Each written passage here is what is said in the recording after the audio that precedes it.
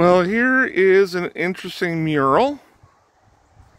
Doesn't need a title. You can tell it's Flin Flon just by looking at it. And uh, let's see. All right, so in the corner, ah, I suspect this is a prospector. Here he is outside of his little tent and a fire lit. All right, of course, the Northern Lights dancing above him and shining. Of course, a lot of wildlife, a lot of water in the area, lakes, rivers, wilderness.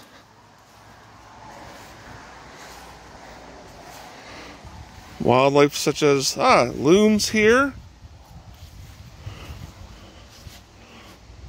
Even dragonflies.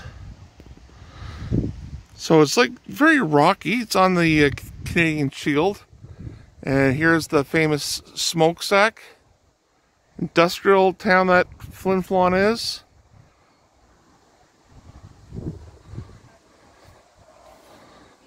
All right. Getting a little bit lighter here. Mining town.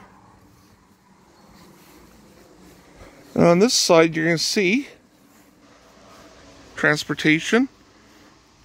Yeah, there's a train station in Flin Flon.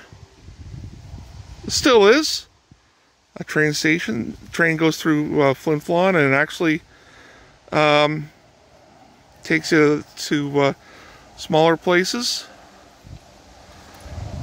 Of course, you're in the Canadian North, and there's going to be a um, pontoon planes played a very important role. And here you go.